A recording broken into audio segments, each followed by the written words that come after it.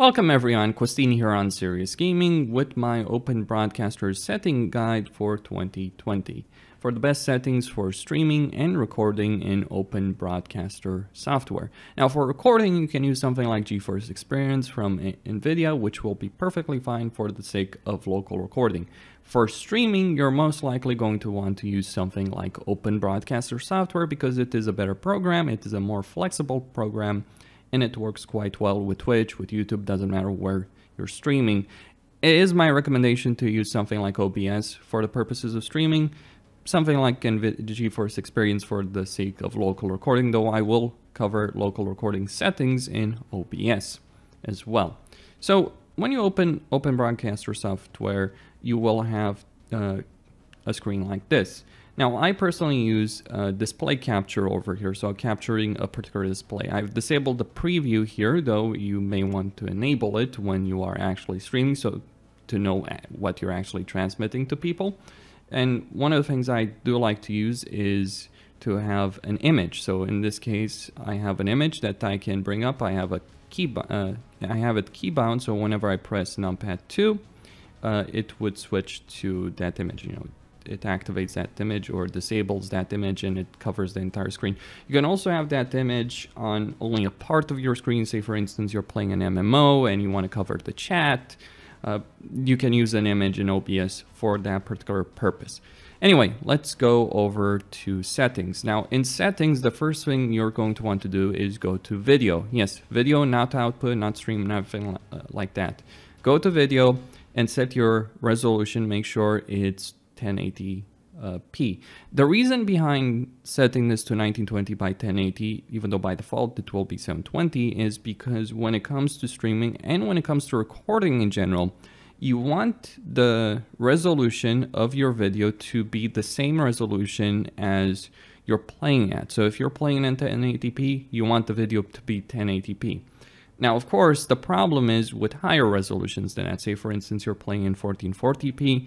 Well, you can technically uh, record and stream in 1440p, but not actually recommended because many people can't handle video on demand on YouTube with anything higher than 1080p 60 fps and many people certainly can't handle streaming at you know watching a stream at 1440p so you're going to be limited when it comes to streaming and even recordings I'd say to 1080p in that case you want to use a downscale filter now, downscale filter, uh, it's going to have bicubic by default. You're going to want it uh, to set it to the best option because the options that I'm going to choose for output are so solid when it comes to performance that you don't care about the downscale filter. And FPS, 60 FPS.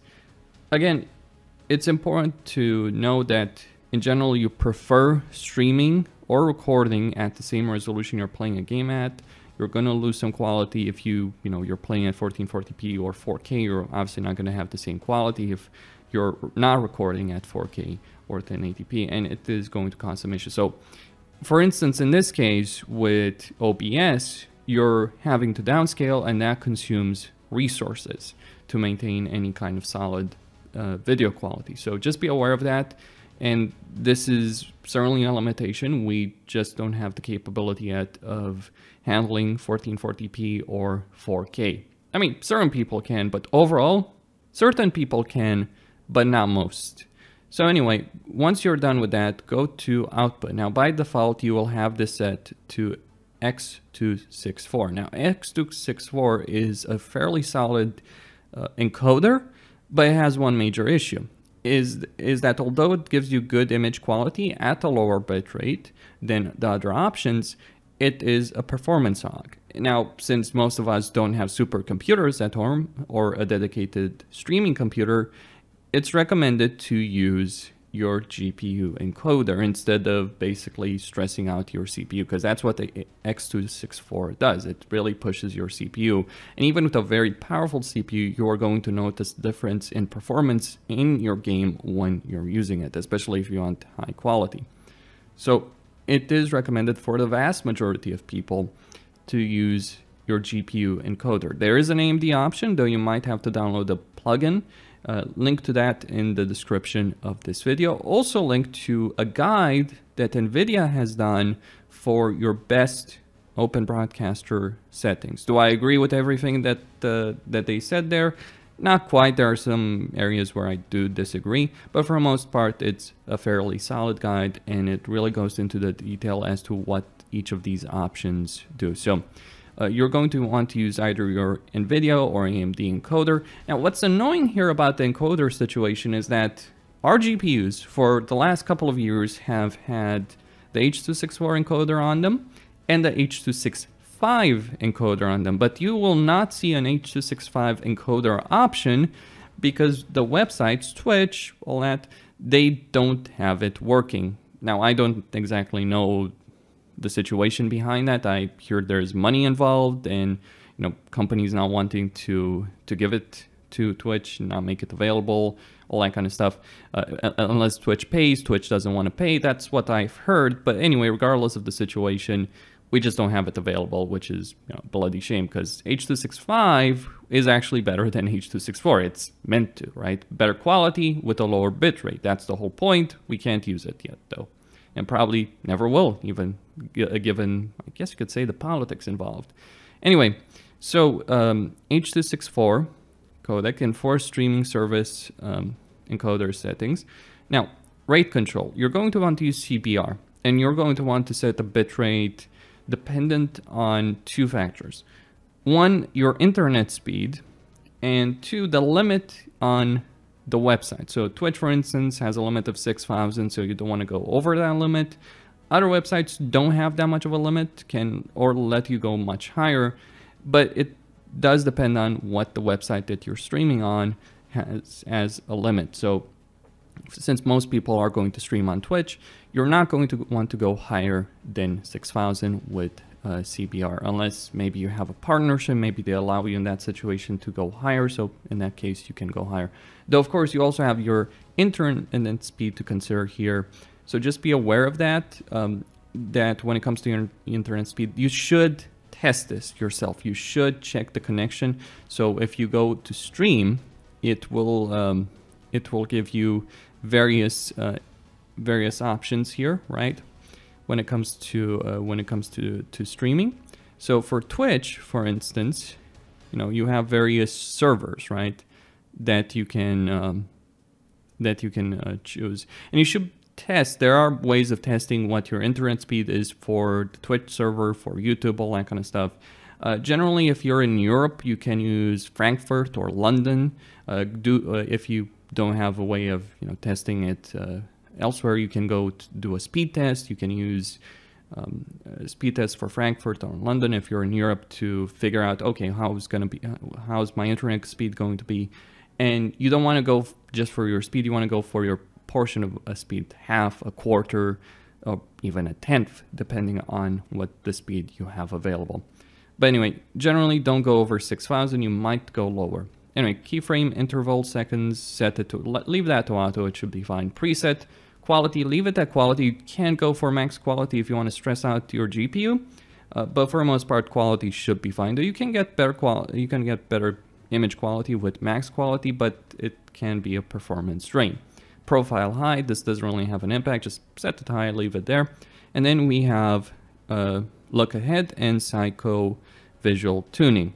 Now, psycho visual tuning, what it does is enables encoder settings that optimize the use of bitrate for increased uh, perceived visual quality, especially in situations with high motion. Since in a lot of games you do have a lot of motion, it is highly recommended you turn this on unless you have serious performance issues.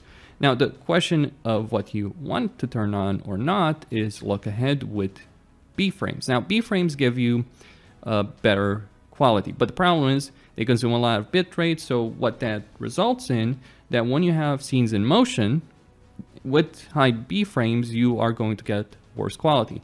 Look ahead is basically using your GPU to be able to use B frames and not lose quality in motion, not as much.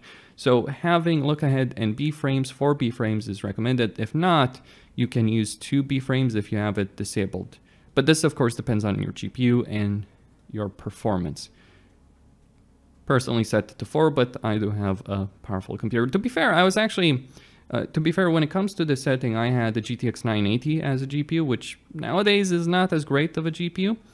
And I was able to record and stream just fine with Open Broadcaster software without significant performance issues, though uh, with most of these settings on, though I didn't have look ahead and 4B frames. So I don't know what the impact of that would be. Then we have recording. Now recording uh, type, there are multiple types, but most part go standard recording format. Now NVIDIA recommends you go for MKV.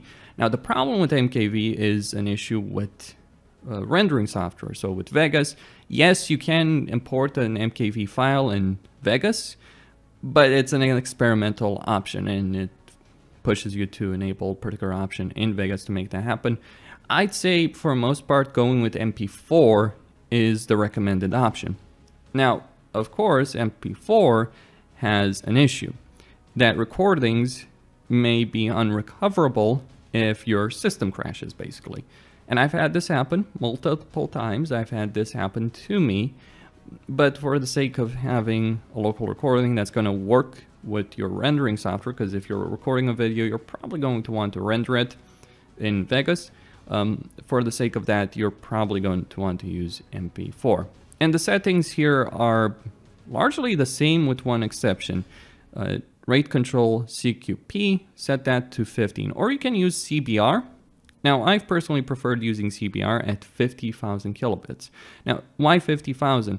Well, because if you use NVIDIA GeForce Experience, right, and basically what we're doing here is using the settings, using the power, the power of your GPU in much the same way that GeForce Experience would eh, on largely the same settings. We're basically recreating ShadowPlay in OBS. That's what we're doing here. If you're doing that, then using CBR with 50,000 kilobits per second will give you the best quality for 1080p or 1440p. You can go with that particular option if you so desire, or you can use CQP at 15 for that as well. Preset, quality, profile high, look ahead, all the same stuff. And that's really what you need to know about your settings in Open Broadcaster software. If you do this, if you choose these options, you will get um, pretty high quality and you will also get a minimal performance impact on your system if you so desire. And that's what makes it worth it. Instead of, you know, using X264 and streaming at 720p, which is I see, something I see a lot of people do. They stream with the X264 and they stream in 720p and obviously their streams are not as good in quality as they could be. We have a chip on our GPUs. We pay for this. Why stress our CPUs? Why have lower performance when we can literally use the hardware that we almost all of us, if we've bought the GPU over the last couple of years, have? Why not use that? Make a, uh, take advantage of that. Costin here, signing out. Don't forget to subscribe, like, and enable notifications. Thank you all for watching, and stay tuned for more.